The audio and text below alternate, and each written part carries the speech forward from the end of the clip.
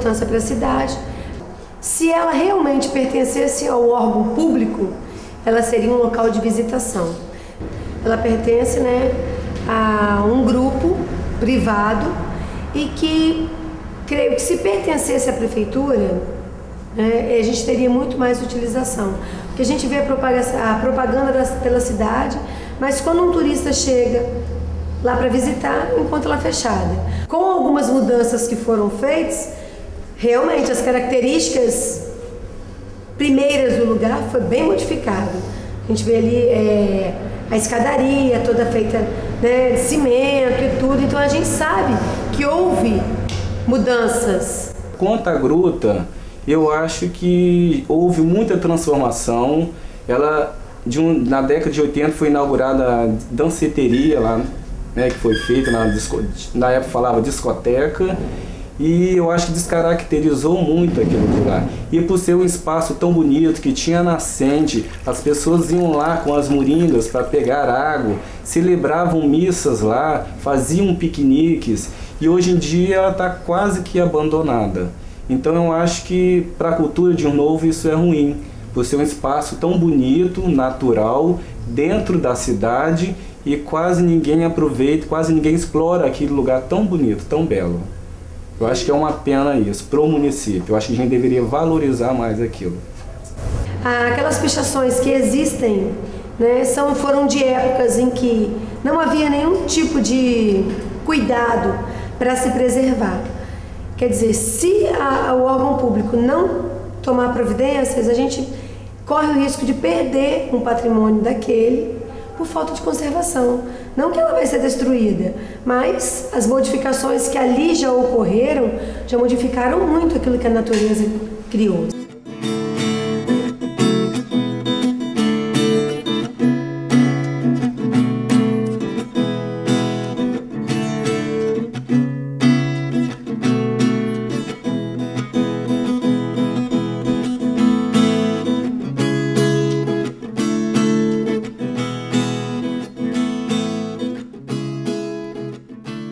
Sentir a necessidade de ter uma capela, uma igreja aqui no, na vila, ela construiu então, final, no final do século XIX, uma capela que é a de Nossa Senhora da Penha.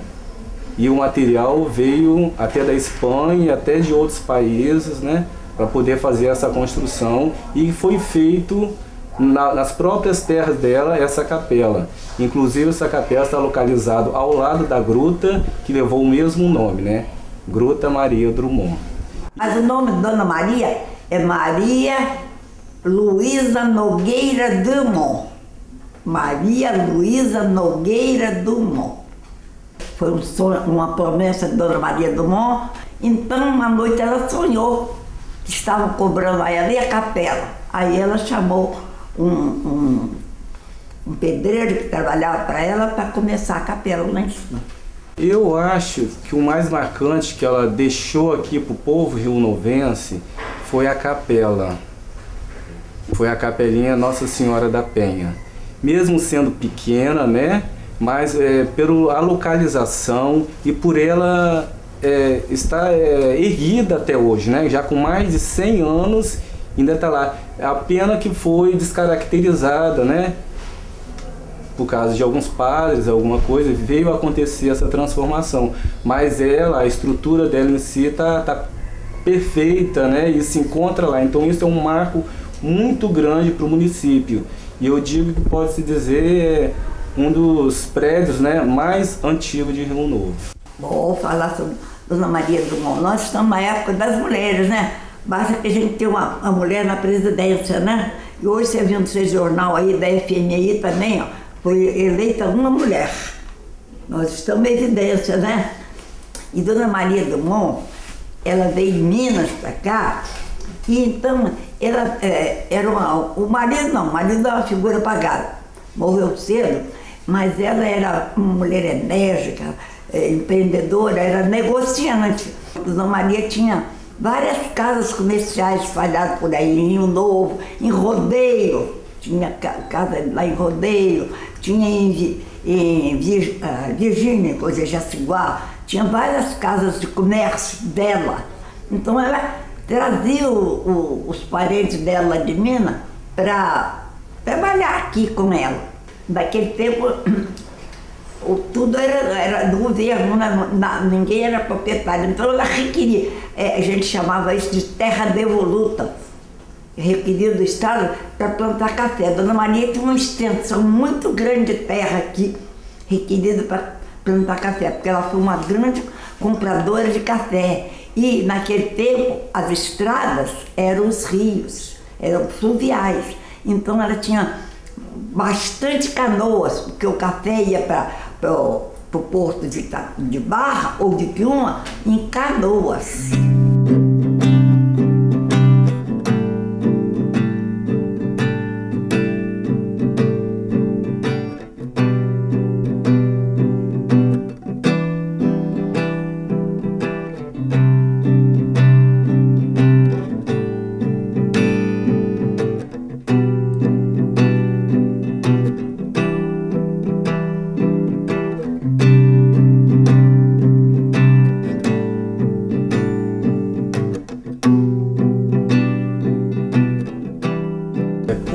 Jovens de hoje, se tivesse que se espelhar em Maria Drummond, eu acho que deveria ser assim, pela garra que ela teve de sair do, do seu estado de origem, que era Minas, com tanto sacrifício na época que não tinha né, é, meio de transporte, era tudo através de, de canoas e lombos de animais, e durou três meses vindo de lá para cá com toda essa dificuldade e ainda era deficiente física.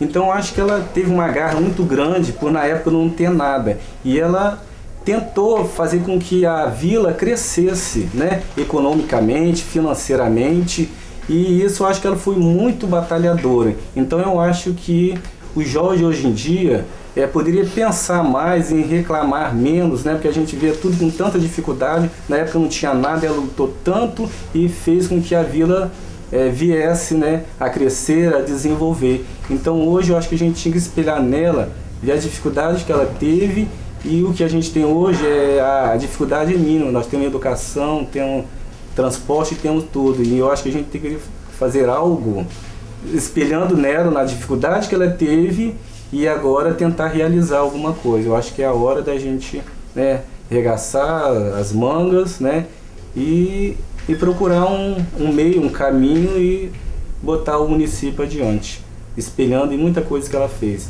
na parte religiosa, né, financeira, na dificuldade que ela teve de chegar até aqui, por, pela vila não ter, não oferecer nada na época. Então ela foi uma guerreira, né, foi uma batalhadora. Eu acho que a gente tem que espelhar nela. Talvez, comparando, né, se pudéssemos comparar a dona Niede, a gente teria dificuldade, porque hoje a tecnologia avançou. Ninguém mais tem paciência para sentar, para conhecer, para conversar. A tecnologia é, cortou isso das nossas vidas.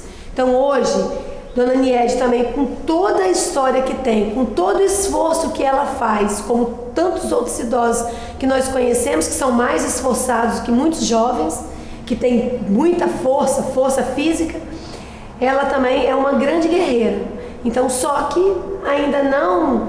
É, só que nos dias de hoje ela talvez não seja tão conhecida porque a tecnologia veio, né, está aí e computador, internet, Orkut, tudo isso, a televisão, tem feito com que pessoas como ela, né, carregadas de uma um, histórias culturais, histórias do passado, venham ficar tão apagada em meio à sociedade.